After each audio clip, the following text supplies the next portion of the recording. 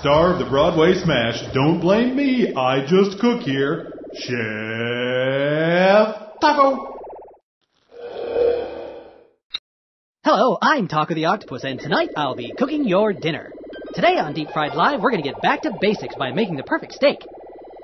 There's really no reason why you shouldn't have restaurant quality steak at home, and I'm going to show you how to do it. Nothing fancy, just one beautiful, juicy piece of beef cooked to perfection. The first thing you're going to need is, of course, a steak. Since our ingredient list only includes meat, salt, pepper, and a little oil, it's wise to start with a quality steak. There are, of course, some good online resources which. Uh...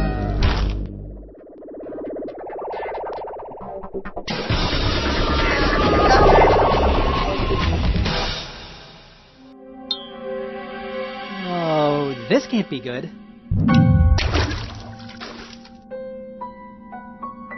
Hello?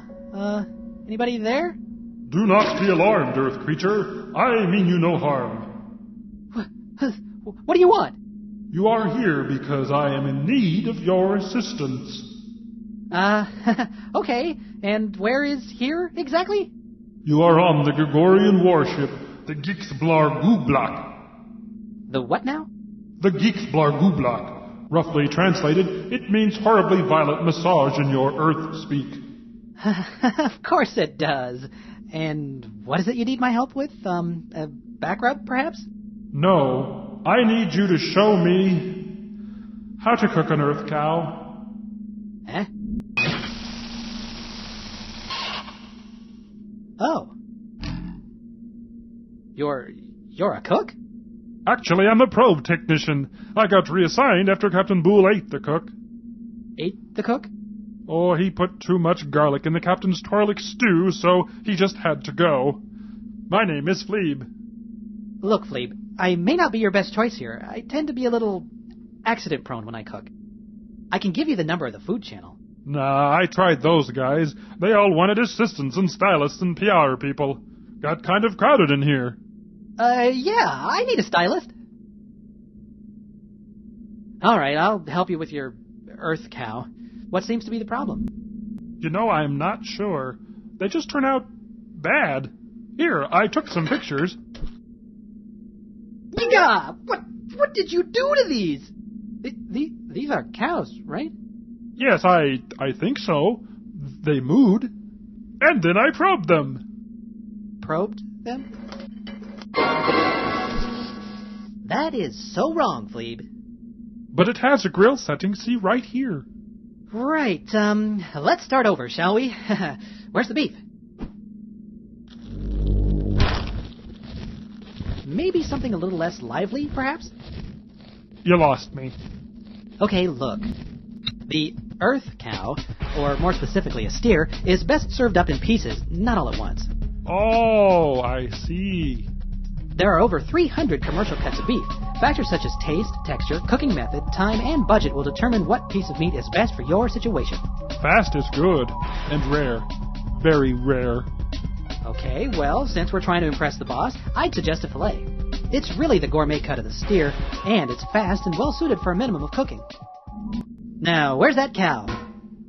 Oh, hey, you learned fast. Yes, and earth cows are soft. Oh, let's not go there. Okay, this one looks nice. A little marbling, but not too much. A nice even cut, and no strong odor. When you select your meat, make sure it's got a bright red color, not brown, and go for something that's moist looking but not waiting in a pool of blood. Mmm, sounds yummy.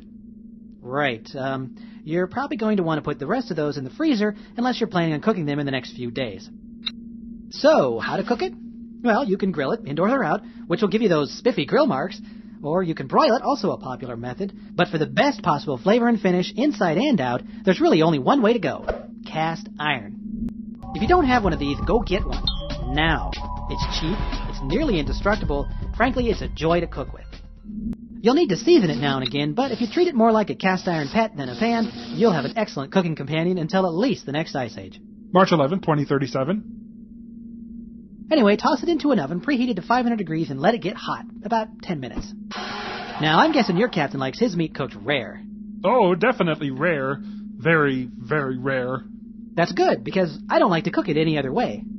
To get your steak ready to cook, bring it to room temperature, then sprinkle both sides with kosher salt and black pepper, and then rub them in.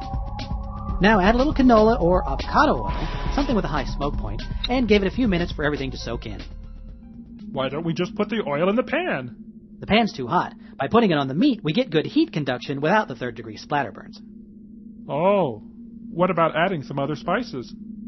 Uh, no. Barbecue sauce? No! Surely a little blue glebe salsa wouldn't hurt. Okay, I don't know what that is, but no!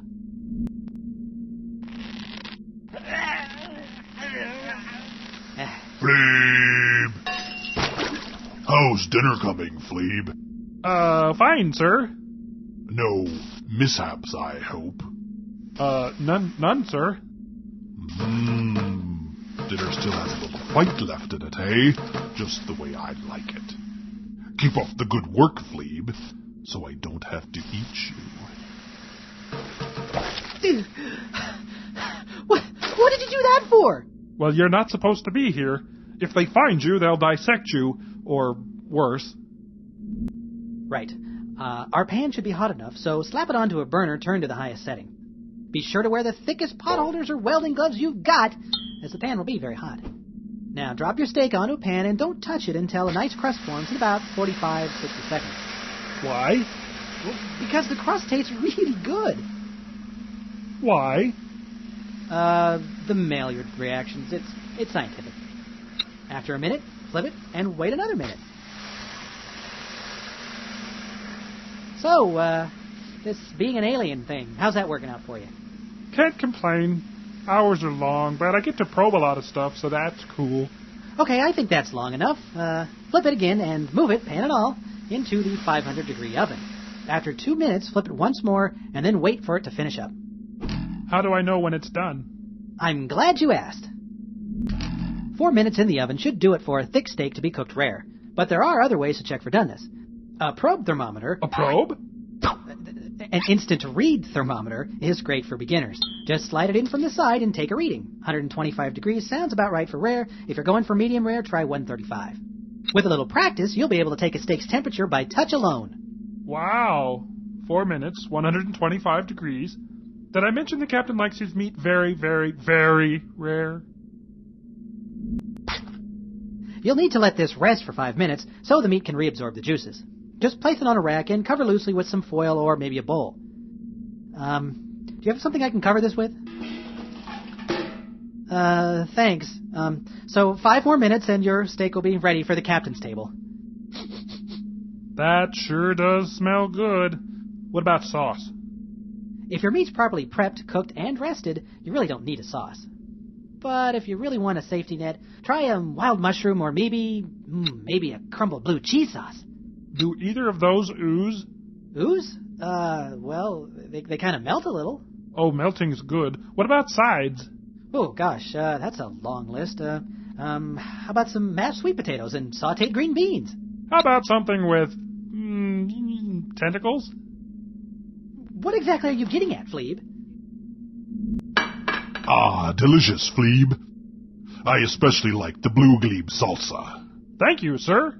Now, what have you made me for dessert? Earth creature surprise. Mmm, looks tasty. What's the surprise? oh, phew. Oh, thank goodness. It's just a dream. Well, that's the last time I drank three root beer floats before bedtime. No more uh, root beer floozes before bedtime.